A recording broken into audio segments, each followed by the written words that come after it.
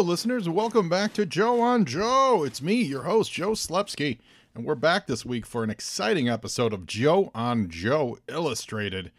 This is the podcast where we watch every cartoon, every commercial. Well, we haven't really, well, we covered commercials a little bit, I guess, but we do all the cartoons episode by episode, and we do all the comic books episode by episode, issue by issue, page by page, panel by panel.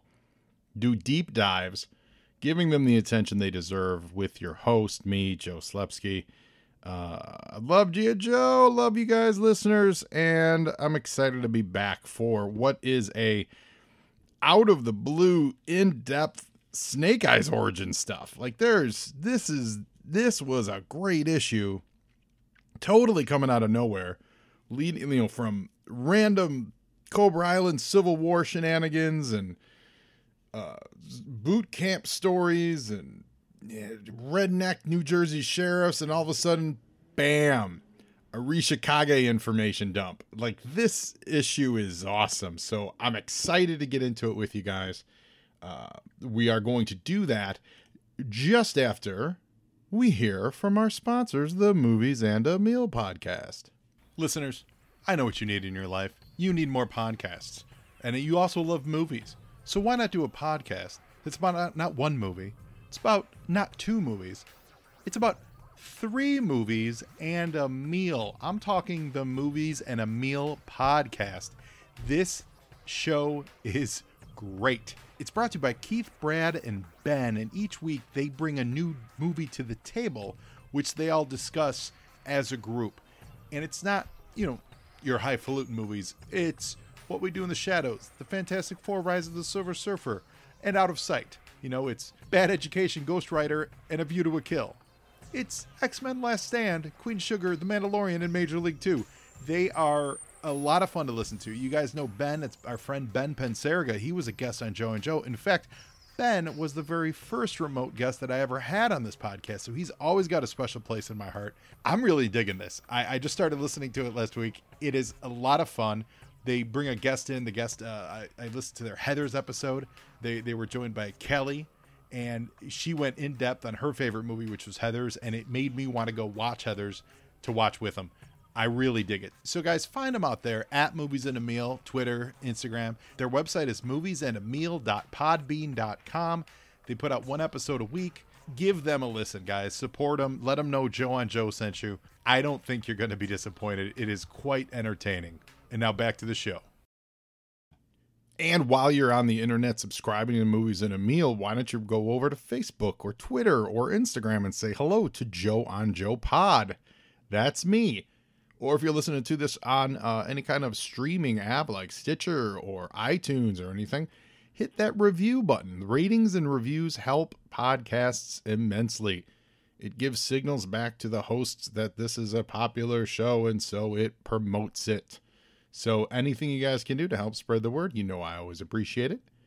And we are going to start this segment of You were saying with Marvel Comics. And you guys, if you're not familiar, you were saying is our segment where we look at other comic books that were on the shelf during the same month of GI Joe. So GI Joe 84 has a um, an off sale date of uh, March 1989. It was on sale in November 1988.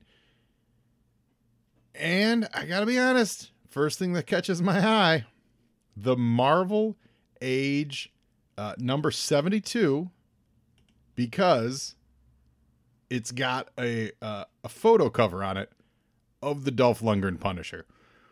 Listen, kids, we are currently living in a very spoiled time when it comes to film comic book adaptations. You guys uh, we all love the mcu i think universally the mcu is pretty top notch there's some ups there's some downs.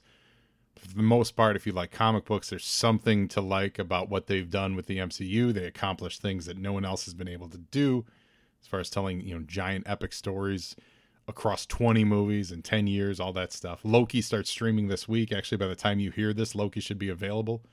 Uh, as I'm as I'm recording this, I see a countdown saying in eight hours it's going to be available over on Disney Plus.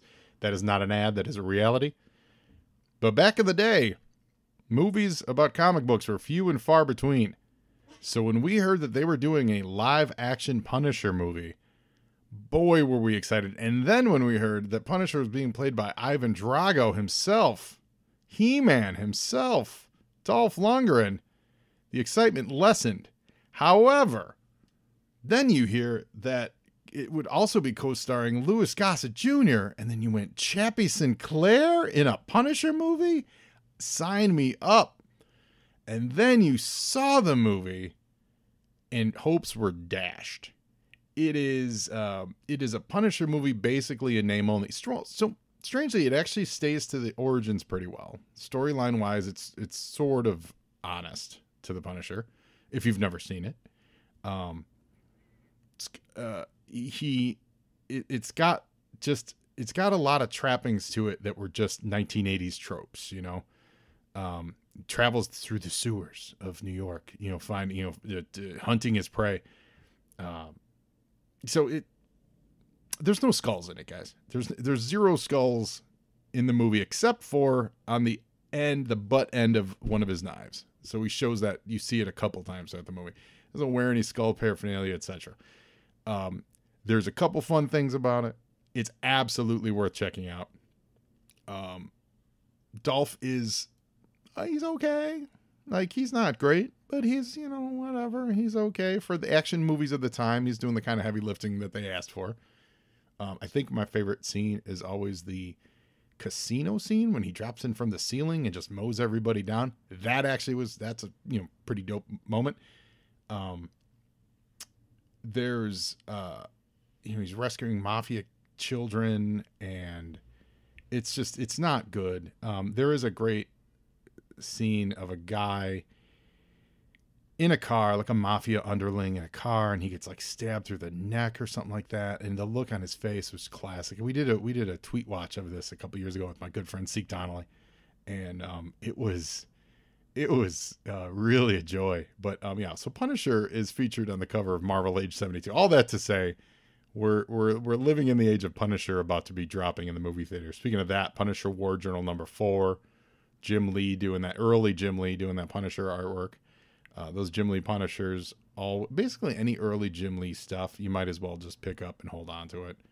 They all seem to hold their value. Um, even even books like this, which there's a lot of copies of, um, and they're not really valuable books per se, but Jim Lee stuff, McFarlane stuff, all that all those early books are, are you know are, are rising incrementally over the years. So you know it's it's worth keeping in your if you have a collection of Punisher and you're like I don't want to read all these Punishers or keep them all, hold on to the Jim Lee ones.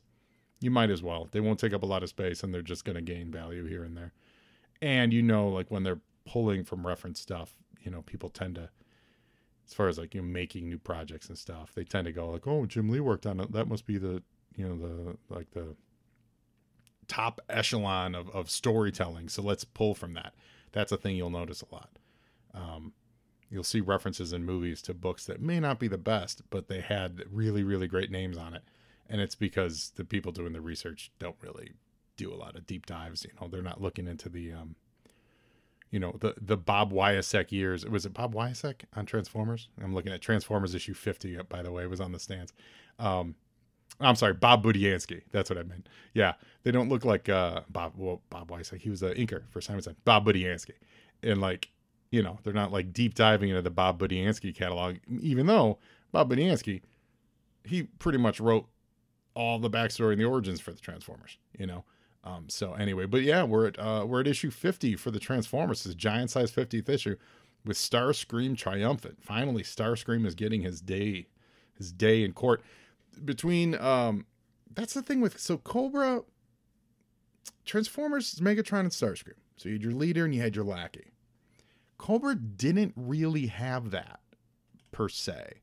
They had two leaders, you know, or three if you count Baroness, you know, and it was it was Destro and Cobra Commander, and there was really not a subservient position because Destro never had um, he never, you know, he had his own thing going on. He had Mars Industries, so he didn't need to be that lackey.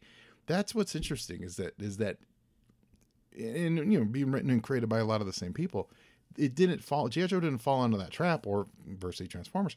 They were separate power structures because you could see it. You could see that there, there could easily be a thing, and, and I guess you get a little bit into the sniveling with Doctor Mindbender, both in the comic and on the cartoon, where he was always playing both sides.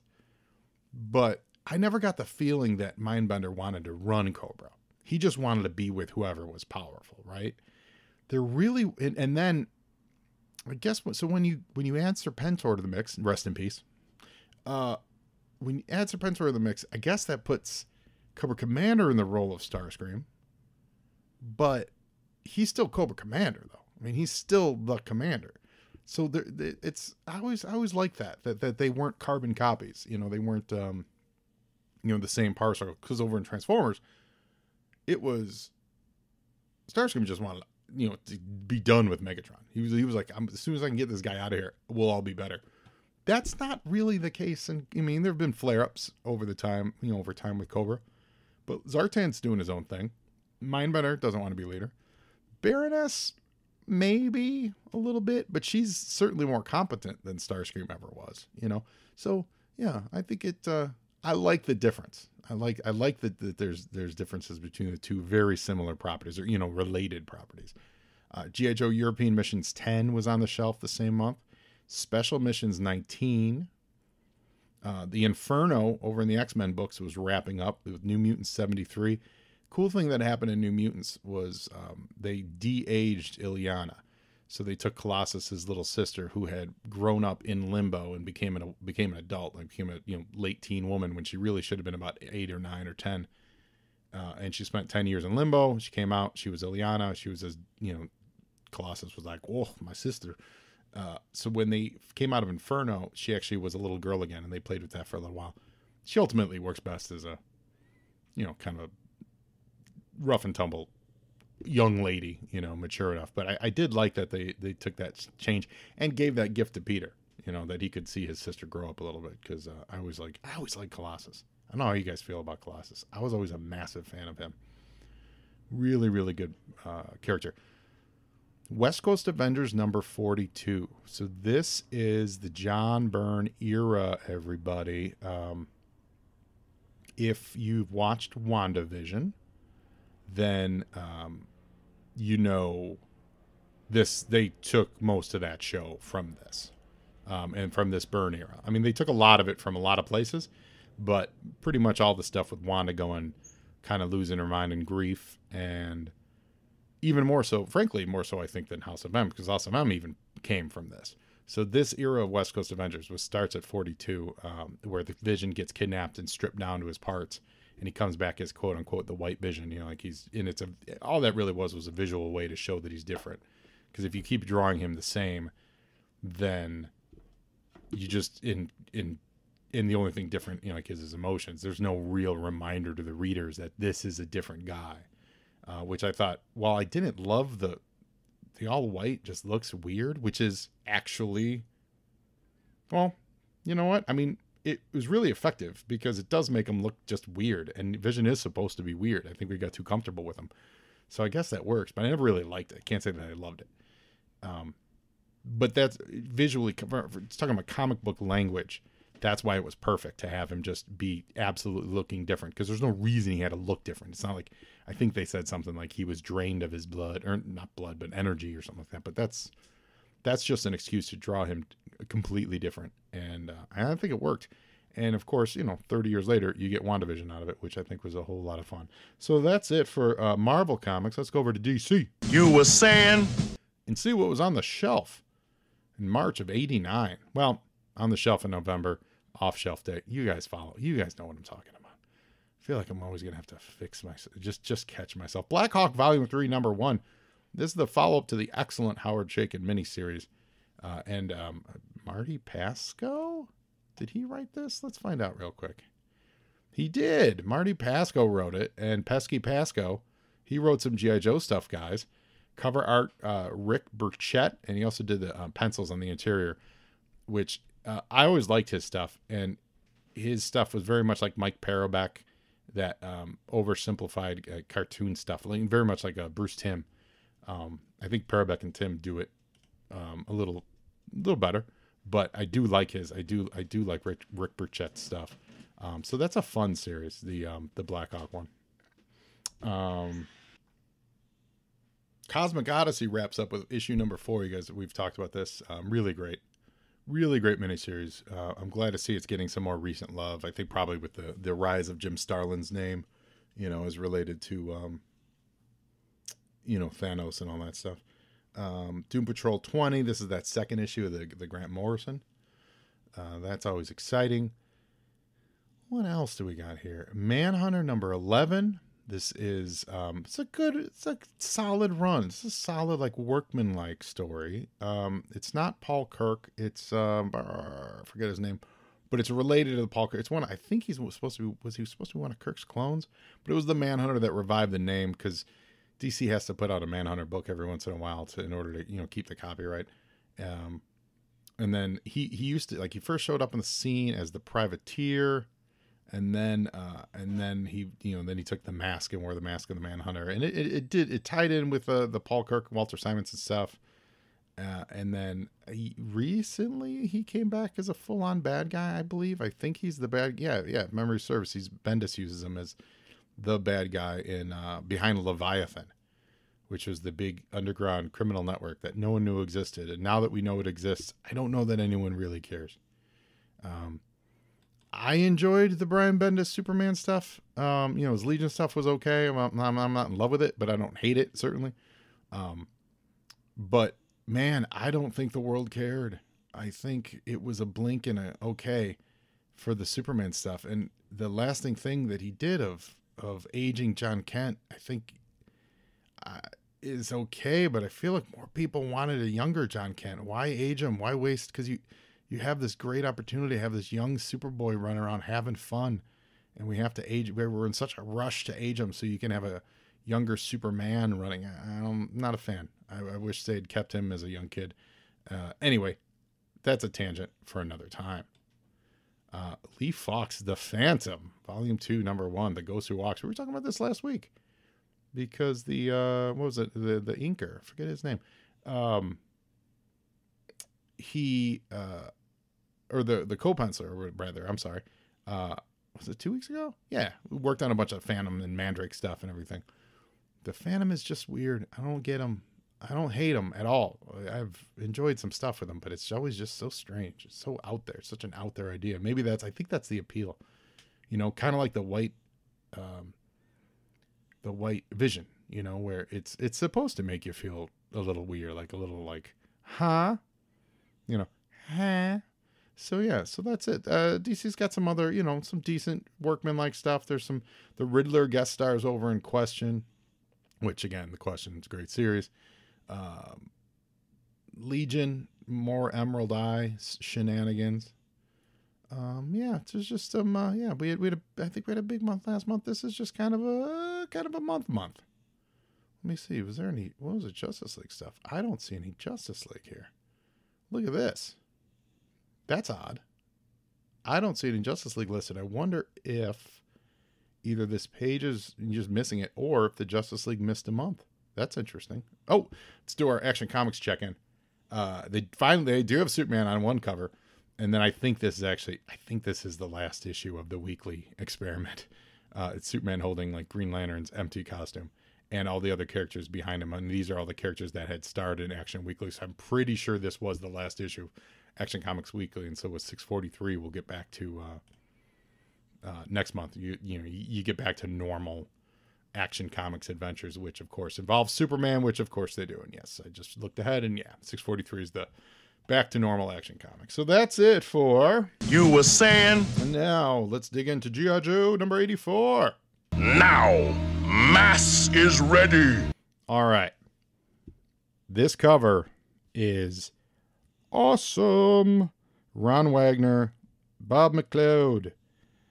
Um, it's a it's a representational cover. GI Joe does not do a lot of representational covers, um, and I'm talking about stuff like uh, the last time was the um, maybe, maybe it wasn't the last time we saw one, but one of the biggest ones is that Grim Reaper holding the M16 or the M60. Uh, and he's and it's the one where the Softmaster dies and Billy they all get in the car wreck and everything. Like that's a that's a representational cover. It's not exactly something that's happening inside, but it's but it's also not a pinup. You know, it's saying that the specter of this is happening. And here we've got these um, we've got a pool of bubbling lava with these stone pedestals that people that two red ninjas are standing on holding Cobra Commander in front of a of a of a glowing visage of Zartan as he rises from the uh, the bubbling uh, the bubbling lava or, or oil or what have you. Um, it's great. It's great. It's nuts. It's great. And um, it's you know he's it's it's Cobra Commander on trial or he's being held captive by Zartan or whatever it is. But it promises you that stuff's gonna go down in this issue, um, which is awesome. It just really really great. It's a it's a it's an all timer cover. It's probably yeah it's it's a great cover and it also actually very much keeps you in suspense as far as um what the inside is. It doesn't necess- doesn't say like more ninja shenanigans, you know, like or more snake eyes inside. It's just all Cobra Commander and Zartan on the cover, but we all know what's inside. Yo, Joe! Converging Destinies. Larry Hama script, Marshall Rogers penciler, Randy Emberlin inker, Rick Parker letterer, Bob Sharen colorist, Bobby Chase editor, Tom DeFalco editor in chief, and and it uh, the splash page is sharp. It's nice. It's Storm Shadow looming over. Um, you could if you know the if you know the books, you could guess that it's Billy because he's got an eye patch, but otherwise you just see someone in in Storm Shadow's old gi without the um, the cobra snake on it. So there's like there's symbolism here of you could say it's uh, the new Storm Shadow about to purge the old Storm Shadow. Um, there's the the student trusting the master. Like there's a, there actually is a lot happening on this page. If you if you kind of know the story. If you don't know the story, you open it up and you go, that dude's about to chop that dude in the head with a sword. Yo, Joe! and we see for the first time in many I don't know I know it's I'm sorry it's not the first time. We've seen it a lot before but every time we do my brain goes that's awesome is uh Billy claps you know the sword with his hands to stop the the forward momentum. And he actually in this in this panel he, he ends up like kind of judo flipping Storm Shadow over his head. Um but just anytime anytime a ninja catches a sword like that, you know, like putting their hands on it, and they stab it, is uh, first of all, it's awesome. Second of all, my my my my animal brain can't help but going, oh, that's gotta hurt. Like that's gotta cut your hand up. Like I get it, but it's gotta cut your hand up, and it's awesome. I love the move. So he, um, it's Storm Shadow imparting uh, Zen wisdom onto Billy, talking about um, opening your mind uh, to master the spiritual nature of being a ninja. You know, attain the power to cast violence away from himself without resorting to the same. In this case, he cast it away by catching the sword and, and you know, pushing, you know, like flipping Storm Shadow away from him. So it's symbolic as well as uh, practical and functional. And Storm Shadow continued to ask him, you know, what about subtext? What's a trick question? And um, Billy says, uh, we can't ever know what it all really means. To think so is to surrender to delusion. We must question everything. But how does one contemplate the void while questioning everything? And Storm Shadow replied, It's a good question, Billy. By the way, my old ninja gi seems to fit you perfectly, confirming that Billy is in fact wearing his old Storm Shadow outfit. Yo, Joe!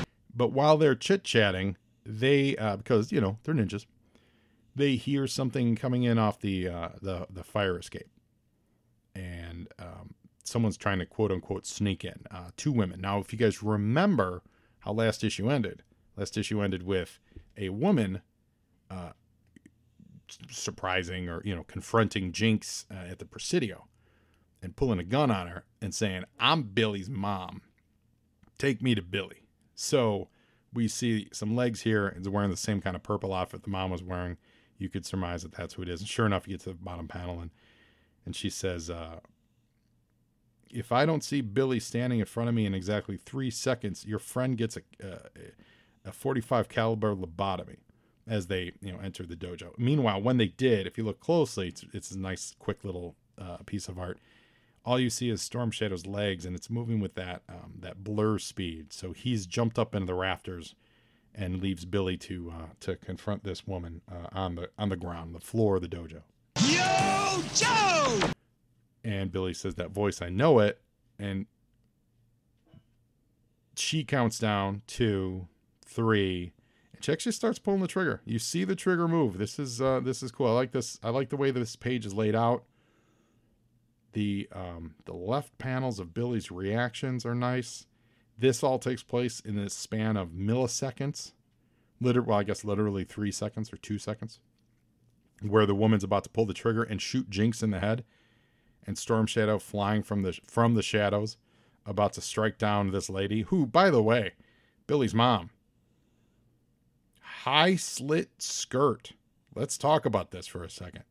Jinx, Jinx wearing, you know, normal, modest GI uh, military skirt. Uh, Billy's mom's that skirt slit up to her waist. I don't know what she does for a living, but she's ready for action. And so is Billy because he moves like a blur. Yo, Joe! and he uh, demonstrates that sword catch technique that he did earlier. And at the same time he kicks the gun which absolutely goes off uh, away from jinx's head. Um, it's a it's a great sequence. It's uh, crazy fast. And we get some more lessons here. Storm shadow says we don't take any chances when one of our own clan is in danger she threatened jinx and her mission and her mission is to kill billy and Billy looks at her and says, She never intended to harm Billy. And, and this is great because she doesn't know who Billy is. She doesn't recognize him. Because remember, the kid standing in front of her, uh, he's much older than when she last saw him. He's missing an eye. And he says, These folks have adopted me into their family and given me the means to put my life back together. They're not holding me hostage or only prisoner. Mom. Mom, mom. Mom. A gasp. You're my Billy? Yo, Joe! What did they do to you? Your eye. And he recoils in grossness. Um, I love this because it um this whole sequence is great. So Billy points out right away. mm, All right. So it's great for a lot of reasons. The first thing she sees is that her perfect little boy is no longer a perfect little boy. Right? And that's disappointing because that's the first thing she sees, which is shallow and you know not what you know Billy recoils in horror. He then takes that and immediately goes to, yeah, well, I got a fake leg too. I guess I'm kind of a letdown if you're expecting a dream child. And Storm Shadow steps in and smacks Billy across the face about Sass talking his mom. And then Storm and, and Jinx leave him alone uh, so he can work it out with his mom. But like, there's a great it's just a great dynamic here because you know billy's growing up but he's also a, a, little kid whose dad was a terrorist and his mom abandoned him right? Um i dig it. I do. I dig it. Uh and then i like the i just i like the choices and it's very it's simple. Uh it's it's a simple close-up on billy's face. You see the recoilies i like the way the the background in the top right panel you know works as kind of a pseudo highlight to show this this emotion you know? It's not um so look at it. Green the green the blue and the orange panels. All that background shading or, or um, you know stippling is all different and it's all to give different emotions. So this the green one is this sense of you know vertigo or you can imagine like this zero in of, of, of disgust on Billy's part. And then it's shared with the mom in that second panel where that um, you've got it's blue colored blue, but it's this um, it's almost like it's almost like they're sharing energy and it's and it's just this negative energy. And then when you get to the orange panel in the middle, when Storm Shadow breaks that up, so now all all that energy, pardon me, girls, they're very interested in GI Joe energy. Speaking of that, actually, that might be my uh, Lady J arriving. So the orange panel like diffuses the energy, um, and it's it's really represented by that. But that's not what's important, guys. So I just paused the show, and guess what? We're having a we're having a surprise unboxing, is what we're having right now. That, my friends, uh, was my dog going crazy because the mailman just showed up. So I'm gonna open a box that I got from Hasbro. That's right. My Lady J arrived. Let's check it out. Let's see what we got here. Surprise unboxing. G.I. Joe. Classified. Lady J. Now, you guys know I'm not an action figure guy. So I am not going to look at this with the same eye that some of my good friends on Twitter and on the other pods do. But I'm going to tell you this right now. I think she looks great. The detail on this is fabulous. They've got oh the the the heads for her staff are interchangeable. That's really really cool. Two like two knife ends and one probably like a grenade explosive tip end. That's amazing. She's got a little Bowie knife that looks like it fits in a holster. That's fabulous.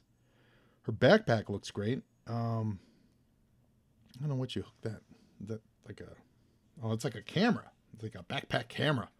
This figure looks awesome. I, my Flint arrived yesterday, and Flint looks really great too. Um, and obviously they're a pair, so you know that's win-win for everybody. So yeah, here's my classified Lady J. I'm excited for this. Literally mid mid show, everybody.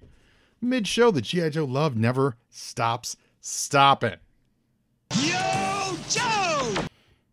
All these years, I thought you were dead, Mom. I thought you were dead, but she never stopped searching for Billy. And he says, Dad told me you had died in a car accident, car crash, rather. And this is where we see that a young Cobra Commander who looks remarkably like Cliff Clavin uh, is going to, you know, it's all a flashback. We're going to start all over again, Billy. Things are going to get better. So, out of nowhere, remember in the comics, Cobra Commander's that that's thought to be dead. We're getting the origin of Cobra Commander from Billy's perspective. And we see Cobra Commander talking to all these people and all these, you know, in crappy hotels and stuff while Billy played military guy. Cobra Commander building up his business. Our strength is in our unity. We can win back our birthright. Uh, we're going to sell vitamins and cleaning products. Better yet, we're going to sell the idea of selling vitamins and cleaning products. You know, pyramid scheme stuff, like our birthright. This is all very, you know, just going to say it's ideas they really, unfortunately, haven't really all gone away over the years. Uh, but Billy says he's never had any time for me because Cobra was taking up all of it. And we get more of this, I guess what I'd call energy background, um, where there's this, just this, you know, instead of doing the details, they focus you on the two characters because they have to meet in the middle. And so they have this standoff. And if you're looking at the bottom middle panel, see what I'm saying. It's a, it's a full black background with this um, kind of a rough hue and like aura around both Billy and his mom. And it's all it's all very very rough, like rough edged. And Billy says, you know, I used to dream about what it would be like to have a mother like all the other kids. And then they hug in this final panel, and that energy is dissipated. And it's like in the background, it's um, it's like like picture like a sound wave file is sketching across the background. And they also choose Marshall Rogers chooses to make these panels shrink and get there's no reason for it. There's plenty of room above it. He could have had these panels cut across, but he chooses to make them smaller and smaller. And by doing so, it makes it makes the space that they're having more and more intimate and mean a lot more. Um, so it's like it's it's almost like the camera's receding to give them this this time together where they're they're hugging and they're you know reconciling. Yo, Joe! Introducing the DJ machine once again. Meanwhile, over on Cobra Island, uh, Cobra Commander has decided he needs to murder Zartan. and then remember, this is not Cobra Commander, Cobra Commander. This is uh, Cobra Fred Mander. Remember, this is Fred Mander. Um, so at the end of uh, the Cobra Civil War, mean you know Cobra Commander seemingly won, but he doesn't trust Zartan. He knows Zartan is, uh, he, or he believes Zartan is going to make his own power plays. So, with all the dreadnoughts in New Jersey, as we've seen in the last few uh, issues, uh, Fred Mander says, you know, what better time for Zartan to meet with an unfortunate and untimely accident? A fatal one, of course, than when he's alone and unguarded. And in a in a really cool, just a fun bit of functionality, uh, we see that Cobra, that Zartan's main hut slash house slash home base constantly changes um, looks. You know, it's it's under holographic metamorphosis in order to keep people unsure exactly what they're looking at. None of the troops, uh, Vipers and CGs, none of them are very happy about this. Yo, Joe! Now you can take your favorite Nintendo titles with you anywhere. Nintendo Game and Watch lets you play Donkey Kong or Super Mario Brothers in a car, a bus, or even in a tree with your friends. You can choose from 24 titles. Now this is pre Game Boy.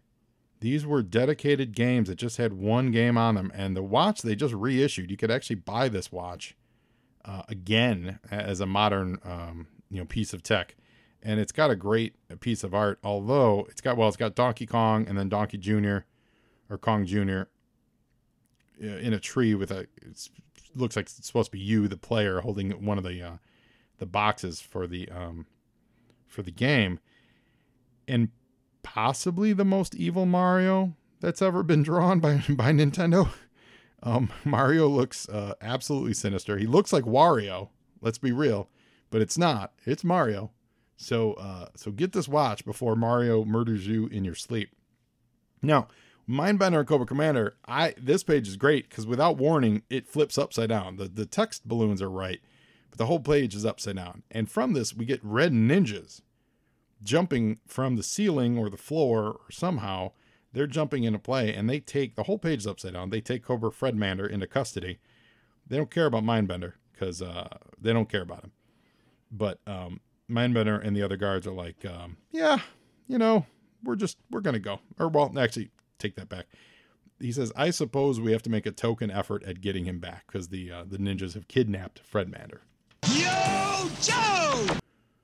and he's demanding to know what this is about. And this ninja is very mouthy. He's real lippy. He says, Shut up, Buckethead.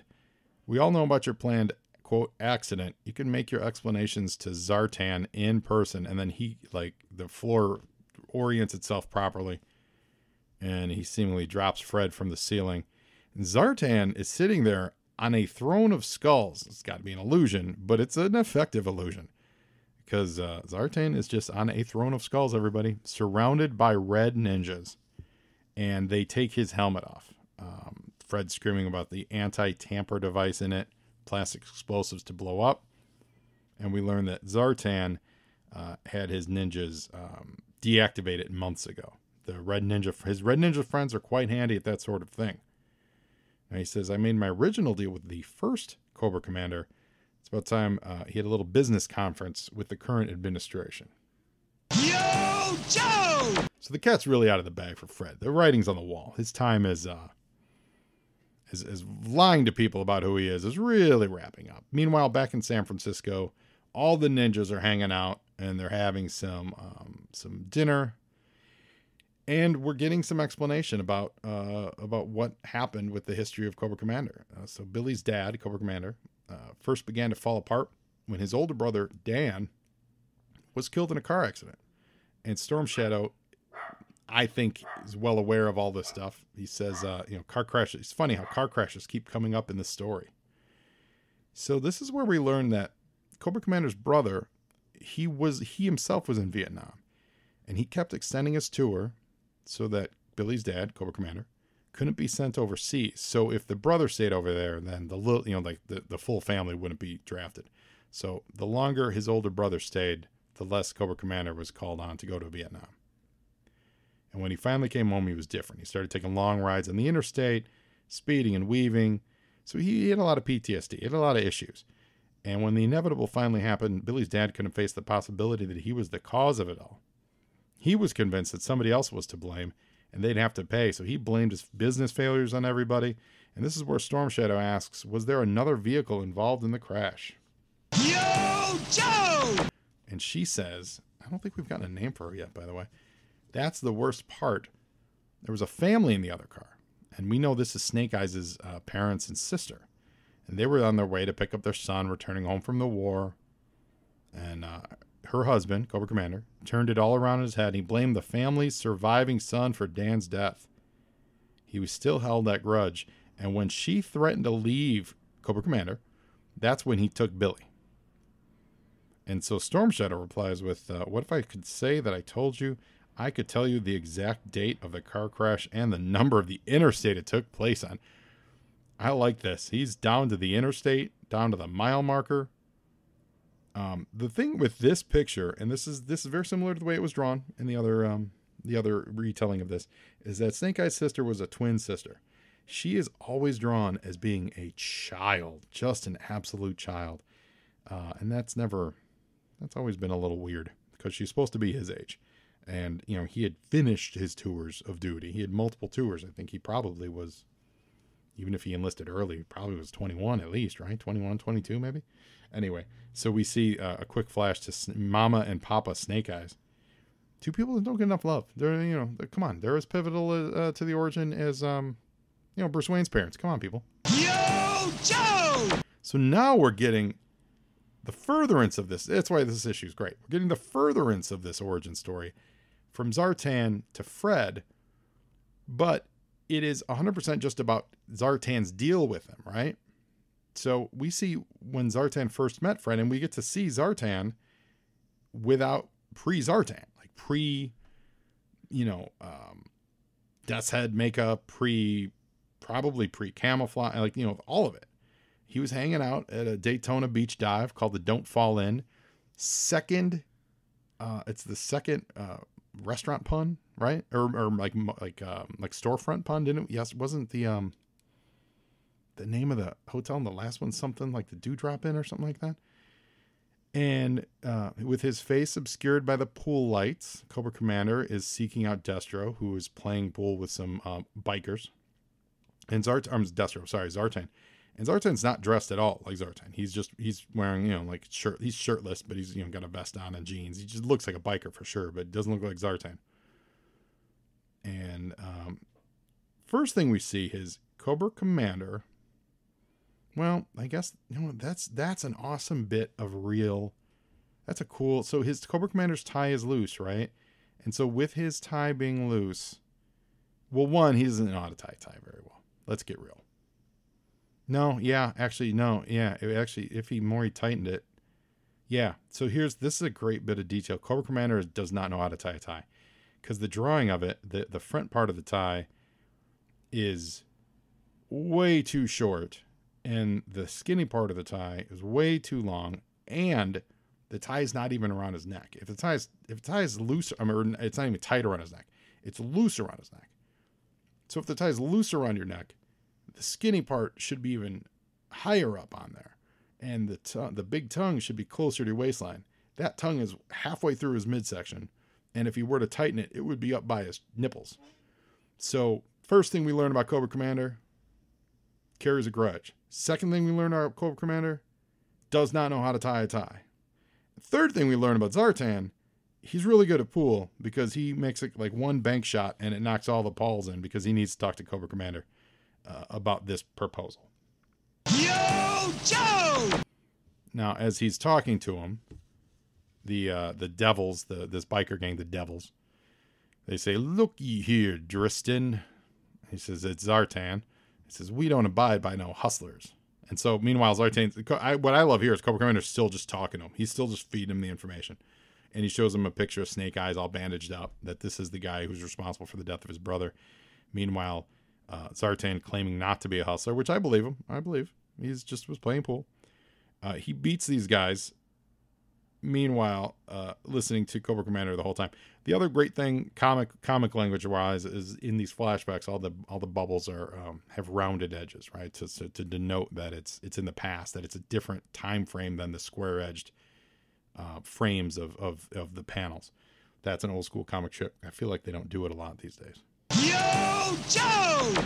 And Zartan continues and finishes his beating, and then proceeds to uh, accept the challenge from Cobra Commander.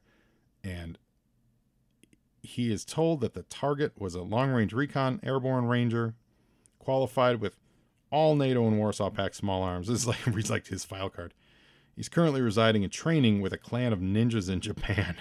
Is that too challenging for you? And that's when he stops and says, ah, My expenses are paid in advance and non refundable. Balance is paid on completion. So Zartan likes the challenge, is what we learn right there. Yo, Joe! And Fred's expression and surprise on this page is exactly what ours is. Like, just like that, you infiltrated a ninja clan. Do you think I was born yesterday? Tell me another one. You know, like what kind of, you know, and then the ninjas kind of threaten him. Uh, and Zartan says, One should not cast aspersions on my veracity in front of my boys. Are you ready to hear the rest of my narrative? So, first of all, let's also point out that Zartan apparently runs not only a bunch of bikers, but he also runs ninjas. That's cool. And we see that old, um, that old like kung fu lesson trick where Zartan went and he sat in front of um, a certain Professor Onihashi. You know, Onihashi, if you guys recall, was the sword master for the Arashikage clan, and he sat in front of it for uh, day from day to every day from dawn to dark for six months to apply for an apprenticeship. That is a lot of sitting for six months. Yo, Joe! Now, before we go, we've got a holiday sale here from American Comics based out of Gainesville, Virginia. Let's see, they've got some holiday specials.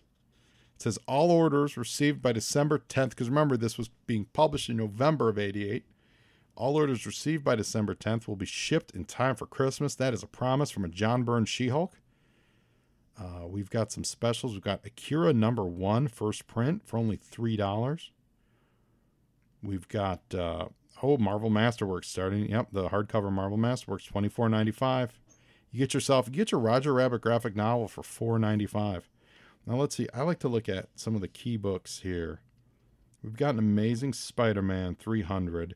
They are limiting you limiting you to just one copy, but you could get a 298 and a 300 for only four dollars, guys. First appearances of Venom, first cameo, first full appearance, only four dollars.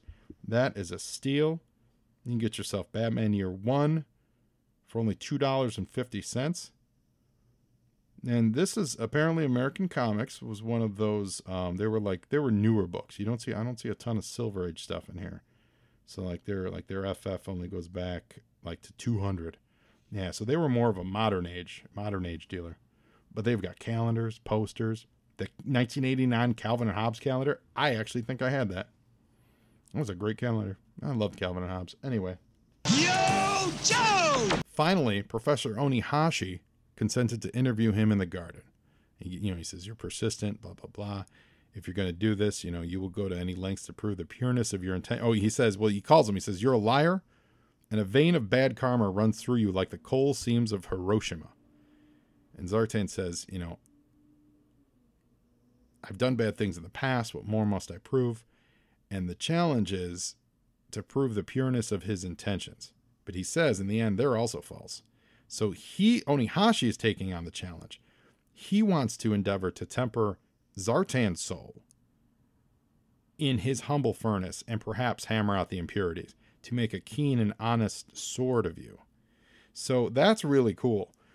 Zartan goes there with the intention of playing this guy. And um, maybe Onihashi doesn't know that he's there to murder Snake Eyes, obviously, but he knows that he's deceitful. And Onihashi looks at it as this is a test for me. Karma, you know, life has put this man, this troubled individual, in my path. And as a guy who tempers steel and takes the hardest substances and molds it to his will, that's the that's the um, that's the life lesson that's been put in front of him. Um, which is such a cool twist. Like this is such a great level of of character that you know wasn't needed, but is so welcome here. That it, it's not that Zartan was fooled anybody or was great at what he did. It's that he was so just such a dirtbag that he himself became a challenge to a guy with uh, much more honor than Zartan probably ever will have. Yo, Joe! And now they're naked in the um, in the snow. No, I'm just kidding. Well, they are. They're um, they're doing like the old um like hot water bath thing, you know, and and um, what they're doing is uh, Onihashi is saying they're they're purifying themselves before they create uh this this sword, right? So they're they're fighting their soul so that they can then find the soul of the sword. I think that's kind of how they're doing it. They're talking about hammering each piece of steel 50 times, each fold doubling the layers until they were beyond number. Soft steel has strength but takes no edge. Hard steel takes an edge but like a razor, but it's brittle and it breaks. So we fold hard steel over soft over and over until they seem as one, and they each retain their original qualities. So you have a, a- an unbreakable sword with a with a razor sharp edge, and you see um, Zartan using it in his you know in his full thong look to cut a piece of wood, very much like Snake Eyes did. Um, you know, God, like forty issues ago when they were training in the Joe in the pit. Yo, Joe! and now we see this is uh this is neat because without saying it we're still in zartan's dream world of zartan using his illusion stuff so now he and fred are on some kind of like crystal pedestal and as zartan's telling this story to him you know you could imagine the world around him is swirling um and zartan himself as they presented the um the sword to the hard master um, Zartan was starting to, you know, uh, Onihashi's tempering of Zartan's evil ways was starting to take effect, right? So all Zartan wanted was to help that that old man create beautiful swords, and I love this second panel on the right. It's something out of a Nightmare on Elm Street movie, and it works with this story that Zartan's weaving because you could almost imagine that panel almost tells you that all these images we've been seeing is what he's been showing Fred, which isn't necessarily it wasn't necessarily in my head until I got to this panel. Because sure, Zartan's got that holographic technology. He could he, you know, he could act out all this stuff. He could show Fred all this stuff, right?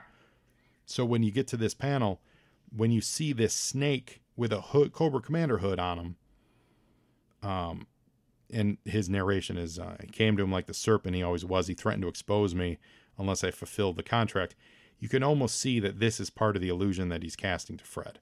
And then we get a rehash of the death of the Hard Master, where uh, Zartan, dressed as uh, Storm Shadow, thinks that he's assassinating Snake Eyes, but it's really Hard Master impersonating Snake Eyes' breathing. Yo, Joe! Got a bullpen, bullpen bulletins page. Say that five times fast. And while he was off assassinating uh, the Hardmaster, he says, I was a fool to think that, that Professor Onihashi wouldn't know, and he knew the darkest secrets of his heart, and so Onihashi kills himself. Zartan says, There was only one way to atone for the shame I had brought upon his forge. And he comes to see uh, Onihashi had committed harikiri. And so Zartan lost everything he ever wanted. And since that moment, Storm Shadow has been hunting him. And he doesn't believe that Storm Shadow's given up that vendetta. He, he's still on guard there. Um, but then we learn that Zartan says, I'm going to fix that for good. I'm going to get Storm Shadow before he can get me. And uh, and randomly, he's going after him tomorrow. So Zartan just jumps on a, on a helicopter and takes off.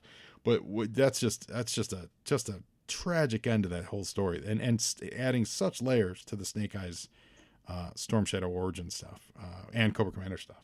Yo, Joe! And so back in San Francisco, uh, Storm Shadow is, is filling in Billy's mom that the other car was uh, Snake Eyes' family. And we learn that Jinx and Shadow, they knew Zartan was the assassin, but they were never really sure why what the motive was. Uh, and um, you know, she says Cobra Commander never mentioned a name, but it all fits together. And and um, you know, guilt has kept her going all these years. And that is a high slit. That is a high slit skirt you're wearing, Mama Mama Billy. Just throwing it out there. Uh, she deluded herself into thinking they could work things out even after he disappeared. She kept a room for Billy. and She has still has all his toys and his clothes. So that means she has vintage uh, GI Joe action figures because he was seen playing with uh, an army guy, which I can only assume is the old 12 inch GI Joe. So um, Billy, you're sitting Billy, you're sitting on a on a gold mine. She's kept it for you. Maybe even some Star Wars mint in package figures. So she was welcoming Billy Billy back. She can't give him back his life, um, but she wants Billy back in her life. Yo, Joe! And he says, uh, if someone's going to have to watch out for you, if you're going to run around with a pistol in your purse, so it might as well be me. So Billy and his mom are going to go and get, they have an apartment in Berkeley. She's in the picture now. Everything's great. It's amazing, as, as Storm Shadow says, pretty amazing how events seem to come full circle. And as that happens, a, a, a newspaper gets dropped at his feet, and it says the De Young Museum to show artifacts, which we know is where Zartan thinks Storm Shadow is going to be. And we get teased for the next issue of wordless ninja action, guys. Wordless ninja action in the next issue. So that is exciting and get ready for it. Now, before we wrap up, we're going to hit the post box the pit. Got a uh, got the first letter from CKG out of Marquette, Michigan, and she points out something that we pointed out when we went through uh, GI Joe issue number seventy seven. Uh, you guys disappointed me. I mean, hey, while Lady J and Zarana were fighting, the other Joes and Cobras, all male, I must add, just stood around there like it was a mud wrestling show or something. And then at the end, the guys just stood around saying dumb things like, Who won? And I hate it when it comes down to this. As if, if two women were fighting for their entertainment. Come on, you guys can do better than that. And then uh, the editor, uh, probably was, yeah, it was Larry, says uh, a similar sentiment was, was expressed by Roxy Divunshek, Divunshek of Denver, Colorado. So I wasn't the only one to notice that in issue 77. We got a letter from Ryan Fox here. We've got Kevin Brash out of Tampico, Illinois. Brash. Um, Mike Leonard from Cherry Tree, Pennsylvania. Ryan Fox, by the way, out of Lakewood, Colorado. Mike Leonard, Cherry Tree, Pennsylvania. Are you still out there, Mike? And then, uh, and then we get a little thing here of Larry clear clarifying, um, where the Joes exist as far as like crossovers and you know, um, you know, like universe stuff. You know, because we've got GI Joe. They had um, they're eventually going to have those crossovers with the Transformers. They had the actual crossover with Transformer miniseries, but that wasn't written by Larry. Obviously, they crossed over in the cartoon. And here we got straight from Larry says the Joes exist in a universe inside his head. That's the events depicted in the TV show and the movie never took place. In fact, I've never seen them. In my universe, Scarlett and Snake Eyes have been an item from the beginning. Duke has been a top sergeant, not the quote leader. The fridge doesn't exist, which is a slap in the face to this Bears fan, Larry. Uh, I don't believe in super. Larry says I don't believe in superheroes, and I stand behind my original statement of vigilantism. I shouldn't have used the X Men as an example. Uh, so he's talking about his series Wolfpack with dealt that dealt in a kind of a realistic way with vigilantism. So what he's saying is the Joe, and, and he says, I've never read the Joe Transformer crossover, so I can't comment on it. So he's saying that that's all not canon, you know, for Larry Headcanon. Um, I'm I'm interested to see what happens when they get foisted on them because I'm pretty sure, uh, and that sound you hear, that's me cracking that cracking that uh, that comic bag and sliding it back in. I'm sure. I mean, if that's not yeah so yeah uh, interesting because yeah, i'm sure that was foisted on him and like you, you need to do these crossovers. I can't wait to reread those. And we got a good we got a ways to go. It's probably i think that's like 30 issues from now or something like that. So plenty of time between now and then. I love this issue guys. I loved it. Um i like that it built up the world of, of the uh of the the storm shadow hardmaster snake eyes story but really was snake eyes was just a character in it it really was more about the Arashikages and Storm Shadow's family and Zartan's bit in it. It really fleshed that out.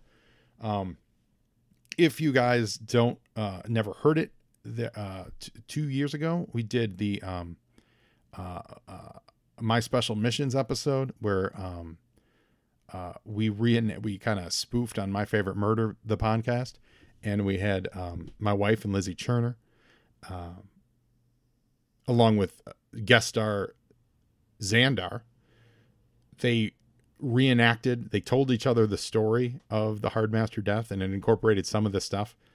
Um, so if you guys never heard that, check it out. It's called uh, My Special Missions. It's one of our special episodes. I'll I'll re I'll re up it in the feed so that you guys can hear it. So if you're listening to this and you never did hear that one, um, I think it's funny. I think it, it, it's it's very much in the vein of the uh, Cold Slither episode we did. It's you know like a mockumentary podcast and it was a whole lot of fun to do. And I think that all the, the girls, the ladies, just absolutely knocked it out of the park. It's, uh, it's very much tying in with this episode of the show. So I'll, I'll re-release it this week, and uh, hopefully you guys will enjoy that. So give that a listen.